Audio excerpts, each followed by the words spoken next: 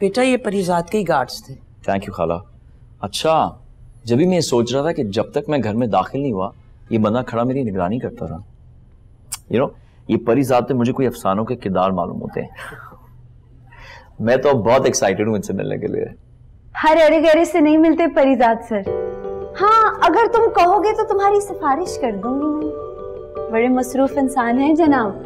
अच्छा जी सुन रही आप खाला? सिफारिश भी कौन कर रहा है?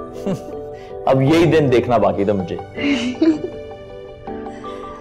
आ, तुम्हारा आज का क्या प्रोग्राम um, कुछ खास नहीं खाला। आज uh, मैंने हॉस्पिटल जाने डिपार्टमेंट में ज्वाइनिंग देने के लिए।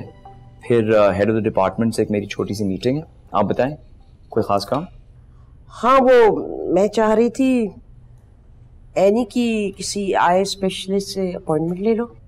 वो याद है तुमने बताया था कोई डॉक्टर सिकंदर करके कोई नाम बताया था उन्होंने?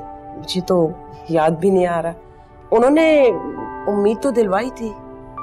खाला मुझे बिल्कुल याद है।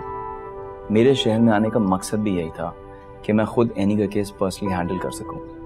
मैं आज ही डॉक्टर मकबूल को कॉल करता हूँ और उनका जो नेक्स्ट अवेलेबल अपॉइंटमेंट होगा ना वो लेने की कोशिश करता हूँ।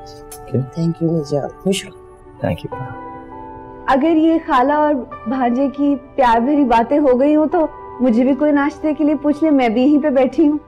मेरी जान में तुम्हारे लिए क्या बनाऊँ बताओ। आपको पता तो है अभी बस मुझे हॉट चॉकलेट ला दें तुम पियोगे? I'm fine. ओके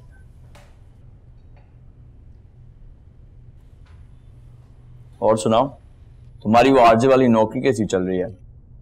कोई सुनता भी है तुम्हें? ऐसी टाई कर होती हो। क्या अपनी तरह समझ रखा है मुझे? है बड़ी रेटिंग आती है मेरे इस एफ़ के शो की। हाँ ज़्यादा जलने की ज़रूरत नहीं है मुझसे। सच कह रही हो? सोच लो। मैं चेक करूँगा तुम्हारे डायरेक्टर से। हाँ हाँ चेक करवा लो। लेकिन सबसे पहले तो मैं तुम्हारी डिग्रियाँ चेक करूँगी। पता नहीं इतना नालायक बच्चा इतनी जल्दी डॉक्टर कैसे बन गया? यही समझ नहीं आती है।